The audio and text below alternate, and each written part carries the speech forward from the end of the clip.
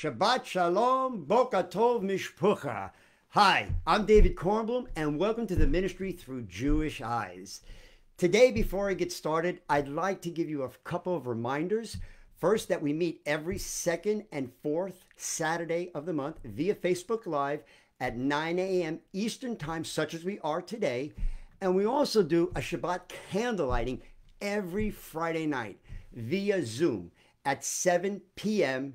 Eastern Time. And those Zoom numbers and the information for that Shabbat candlelighting should be posted down on this page, somewhere down below on this page on Through Jewish Eyes. So please look for the, that information. Invite your family, your friends. Please, let's all come together to honor God, to worship God on His holy day, on the Shabbos. Baruch Hashem. But today, what I'd like to talk about, since we are approaching Yom Kippur, um, the three questions that are usually asked when it comes to Yom Kippur is what is Yom Kippur? Is it for the Jewish and the Gentile believers in Messiah? And should we be observing this holiday or holy day today?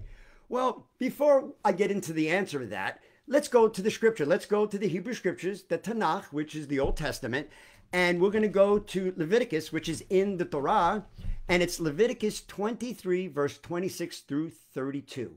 Um, and it says this And the Lord spoke to Moshe, Moses, saying, Also on the tenth day of the seventh month, there shall be a day of atonement, and it shall be a holy gathering. Now remember that word, mishpucha, gathering, to you. And you shall afflict, remember the word afflict? You shall afflict your souls and offer an offering made by fire to the Lord. And you shall do no work on that same day, for it is a day of atonement to make atonement for you before the Lord your God. Verse 29. For whatever soul it is who shall not afflict in that same day shall be cut off from among his people. Verse 30 and whoever and whatever soul it is who does any work, who does any work in that same day, that soul will I destroy from among his people. You shall do no kind of work, it shall be a statute forever. Now, the Hebrew word forever is le olam va'ed. So it says it should be a statute forever throughout your generations in all of your dwellings. So it's saying forever and ever. It doesn't stop. In every generation, all generations. It didn't say one, two, no, it said all, and in all your dwellings. And verse 32 says this It shall be to you a Sabbath of rest. You shall afflict, afflict your souls in the ninth day of the month at evening, from evening to evening, you shall celebrate the Sabbath, the Shabbat. Baruch Hashem, Amen, Amen, and Amen. So as I read this, what I get actually is Yom Kippur is the Day of Atonement. It's the holiest day of the year, right? And it's regarded as the Sabbath of Sabbaths. And realistically, the main focus, well, the main focus of Yom Kippur is atonement and repentance. And usually celebrated from Jews and also Christians and Gentiles by fasting, praying, and also tzedakah, which in English means charity. Well, before I go any further, I just want to clarify something. First of all, fasting does not atone for sin. You need a blood offering to atone for sin. So fasting does not does not atone for sin. So I want to go back to the scripture where remember I told you to remember that word afflict. Well, what does afflict actually mean? And what does, uh, in the Hebrew, in the original language, what is it actually saying? Now, afflict, when I looked it up in the Torah, in the Hebrew, the word, it wasn't fast. See, the word for fast in Hebrew, it's tzom. And that actually means to abstain from food and to fast, okay? But the word that is in there for afflict is a word anah. Now, in Hebrew, the word anah means this to afflict, to humble oneself, to bow down, to weaken oneself, to respond and to answer. Baruch Hashem, Baruch Hashem. So basically, it this is not saying to fast. If you read it in the context with this Hebrew word, ana, it actually means to what? humble oneself, not to fast. So more of the fasting is more a tradition. And listen, Mishpucha, fasting is awesome. Fasting is when you fast, you're actually saying to the flesh, you don't run me. The Ruach Kodesh, the Holy Spirit, God is in charge of me. This flesh cannot be in charge of what I do. And you deprive the flesh when you fast to feed the soul. Remember what the Mashiach, Yeshua, the King Rebbe, what he said. He said in the book of Matthew, which is Matthew chapter 4, verse 4, man shall not live by bread alone, but by every word that comes out of the mouth of Hashem, of God. And actually, it's in Luke 4 4. And realistically, where Yeshua got that from is he got it from, guess what? The Torah, which is Deuteronomy chapter 8, verse 3. That's where it's actually mentioned. But what I'd like to do is I'd like to reread this part of the scripture and add the um, uh, um, the definition of afflict, what it actually is saying. And I'm only going to read the line, the, uh, the the verses that have afflict in it, and tell me what you think. Hallelujah. It says this, verse 26 to 27. And the Lord spoke to Moses, saying, On also on the tenth day of the seventh month, there shall be an atonement. A, it shall be a holy gathering to you, and you shall, Anah, humble oneself and make an offering, an offering unto the Lord your God. Verse 29 For whatever soul who shall not afflict humble oneself on that day, he shall be cut off from among his people. Verse 32, where it says afflict, it shall be to you a Sabbath of rest, and you shall afflict, humble oneself on the ninth day of the month at evening, from evening to evening, shall you celebrate the Shabbat, the Sabbath. Baruch Hashem. So that word, ana, actually does not mean to fast. It actually means to humble yourself before Hashem, before God. That's what it means. But, Mishpucha, take, take note, Mishpucha. Yom Kippur, the Day of Atonement, is the only day that the high priest, the Cohens, are allowed to enter in to the most holy place in the temple. It's a day of intercession which the high priest, the Cohens, make atonement for the people of Israel. Wow, does that sound familiar? Let's go to the Brit Hadashah, the New Testament, and let's go to the book of Hebrews, chapter 2, verse 17. And it says this, and he became one of us. And you know who we're talking about, Mishpucha? Yeshua. He became one of us so that he can serve God as a merciful and faithful high priest, Cohen, and sacrifice himself for forgiveness for our sins. Baruch Hashem. Baruch Hashem. That should bring, that should just soothe your spirit when I read that. But I also want to go to Hebrews 4 4. I don't want to leave that left out.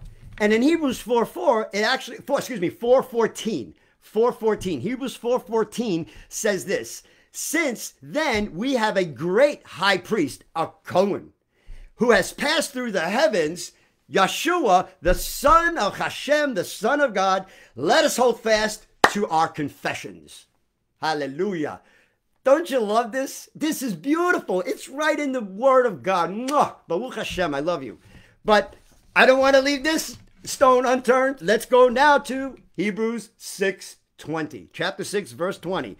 And it says this where Yeshua has gone as a forerunner on our behalf, having become a high priest, El Kohen, forever and ever, Leolam Va'ed, the Hebrew word, after the order of Melchizedek.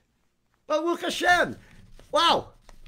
So you see how these two coincide with each other. But I'm not done yet. of course, I'm not done yet. Let's go now.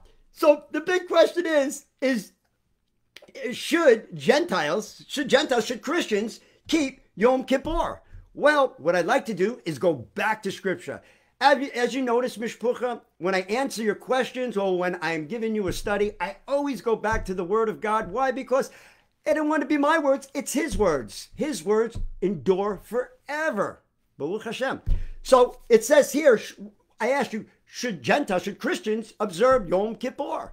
Let's read. We're going to go back to the Hebrew scriptures, to the Tanakh, into Leviticus chapter 16, verse 29, and I'm going to read to 31, and it says this It shall be a statute forever for you. Let me read that again. It shall be a statute forever, excuse me, to you, that in the seventh month of the tenth day of the month you shall afflict, humble yourself, your souls, and do no work, whether it be your own Israel, Hebrew, Jewish person, or the goyim, the stranger who showed, joins among you. Let me read that again. Let's go back.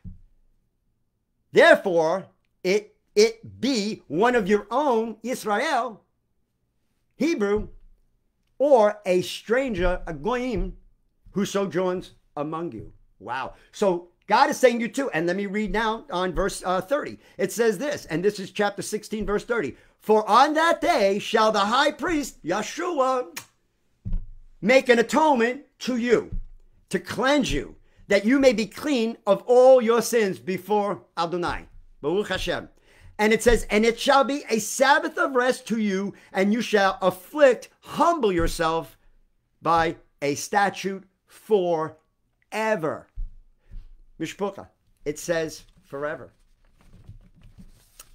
I'm not done yet. I'm going to go back to the Torah and I want to just, I really want to just settle this once and for all. I know it's not going to be true. I'm going to settle, I'm going to be continu- continuing preaching this, but I want to just settle this in my mind once and for all. Let's go to the book of Numbers, chapter 15, verse 15 through 16. And it reads as this One ordinance shall be for both the congregation of Israel and also for the Goyim, the stranger who sojourns with you. An ordinance forever, Leolam Vaed, in your generations, as you are, you shall and the stranger be before the Lord. So God is saying, wait, this is for the Jews and the Gentiles together forever before God. Hallelujah. Say amen. It goes down a lot easier. Wait, let's get back to verse 16. One Torah, one law, one code shall be for you and the goyim, the stranger that sojourns with you. Well, I said a mouthful. That is beautiful. Baruch Hashem. I love you. But now, if you're, if you know, I know some people, ah, oh, the law was abolished and this and that. Mm, not really. I have a teaching on Matthew, understanding Mattityahu, Matthew 5 17. It's on this page. Please, I, I believe you'll be blessed. Go to that teaching. And I think you'll understand that Yeshua didn't say, I didn't, I, I didn't come to abolish the law, but I came to abolish it and get rid of it. No, the Mashiach is not going to say that to get I didn't come to get rid of it, but I got rid of it. Doesn't work that way, Mishpucha. But go to that teaching and you will see on what Yeshua actually meant by I didn't come but to fulfill. I didn't come to abolish, but I came to fulfill. But the one thing that I have noticed in the scripture is that the word forever is in Leviticus 16 uh, 31, uh, Leviticus 23 31, Numbers, I just read it too again. Numbers 15 15 on the Torah, also in Hebrews 620. In Hebrews 620, when it says Yeshua will be the Kohen, the high priest forever and ever. Mishpucha, I want to say this to you, and I really want to say this from the bottom of my heart. Does the word forever mean something different from the Tanakh, the Old Testament, to the Brit Hadashah, the New Testament? I mean, doesn't God's word, isn't it the same yesterday and today? I mean, correct me if I'm wrong. But when it says forever, in the Tanakh, in the Old Testament, the Hebrew Scriptures, and it says forever in the Brit Hadashah, which is the New Testament, it means the same thing, forever and ever. Remember, my family, God is not a God of confusion. God is a God of order and obedience. Listen, the, the, the root of our sal- faith is the root of our salvation. Our faith is the root of our, our salvation. Faith through grace. But obedience is the fruit of our salvation. Mishpucha, please put that in your heart and mind and pray about it. You know, the Bible says that faith without works is dead. The body, the body without the spirit is dead. So faith, and listen, Abraham, through his works and his faith combined together. Oi, Mwah, beautiful. But let me get back to this. But I want to say this. When you read holy gathering, remember when I was reading and I said, remember that word holy gathering? It says that we should have a holy gathering in Leviticus 23, 20, excuse me, 23, 27. Now, I want to read to you what the word gathering means when it says a holy gathering, that we should have a holy gathering. So let's put this together. It's really not it's not saying a fast, it's saying to humble yourself, it's saying to remember this day, it's saying to have a holy gathering. Wait a minute. What does gathering mean? To bring together, to take from scattered places or resources and gather them all together. To come together, assembly, accumulate, crowd gathered around a square. Mishpucha, does this sound like a congregation gathering together? Ecclesia gathering together, an assembly coming out? I, I, I can't I can't say this anymore. This I got to tell you, at this time, God says to gather, to afflict our souls, which is to humble ourselves, bow down, and and in reference, you know, Yeshua. The, listen, Mishpucha, it's not that hard. What frustrates me the most is the fact that people put so much effort into man made holidays, pagan holidays, Roman pagan holidays. They worry about food. They worry about what building, where are we going to go to eat, how are we going to dress, who's going to be there, what's going on. Stuff that's not even in scripture, nowhere could be found in scripture. That was invented. And some of it started over 1400 years ago. Listen, do your research, do your homework. But when it comes to what God is saying on Yom Kippur, a day of atonement, listen, for every believer, Mishpucha, for every believer, Yom Kippur should be every day. We should be getting on our knees every day and asking God to forgive us of our sins and asking to wash our slave clean with the blood of Messiah. Listen, we have a high priest in Yeshua. He was our blood atonement for our sins. This is the time where the body, as believers in Messiah, should gather together as one, echad, one man, one person, one body, one family, under one God, the God of Abraham, Isaac, and Jacob, Avraham, Yitzhak, and Yaakov, with Yeshua sitting on the right side. Baruch Hashem, Mishpucha, what's so hard about following what God is saying? When He says forever and ever and ever, He means forever. Yom Kippur, listen, Yom Kippur in the Tanakh, in the Hebrew scriptures, never took away the sins. It only covered them, and they would come back every year. But Yom Kippur, for us, is preparing ourselves for the second coming of Mashiach. And to humble ourselves, Anah, humble ourselves before Him. Remember Isaiah chapter 40, verse 8. It says, Grass will wither, flowers will fade, but the word of God will last forever. Lay Le'olam va'ed. My prayer to you is that God opens up your eyes to the truth of his word and feeds you his spirit that when you see the word of God, you see it with such a clarity that you're overwhelmed like a child with a brand new gift to say, Oi, look what I've just noticed. Look what I found. Mishpucha, I love you. I care for you. And we I, I want you to know what, what Hashem is telling us, telling you, telling me. Let's humble ourselves together during this Yom Kippur. And if you want to fast, Baruch Hashem. But most importantly, humble yourself before God. And pray for the world. Pray for everything in this world. Pray for the body. Pray for the Jews, the Gentiles, all nations, all people, black, white, brown, pink, purple. We're all part of one race. And what is that? The human race. We're all part of the human race, all made in the image of Hashem, of God. Let's pray. Baruch Hashem Yahweh. Father, thank you today for the opportunity to glorify your name, to minister, to talk, to share my heart, to share your word for what you're saying. Father, I pray that you plant the seed of desire in every mind, heart, spirit, and soul that's hearing this word today, that they will seek your word and seek the truth and full understanding of what you're saying and what your son Yeshua has said and what he has done for us. And for those of the people that don't know you, don't have a relationship with you, and don't know who Messiah Yeshua is, Father, open their eyes, unharden their hearts, remove the veil so they could see, feel, and receive your Son and the Spirit of you, my holiness, the Ruach. Father, I pray for all the people right now in need. I pray that whoever's sick with this coronavirus and whoever's lost their job or whoever's having hard times, I pray that you meet the need, every need that needs to be met. People are having a rough time. The world is sick. It's hurting. The earth is hurting right now, my Holy Father. So I cry out to you that you help them. Help them in their time of need.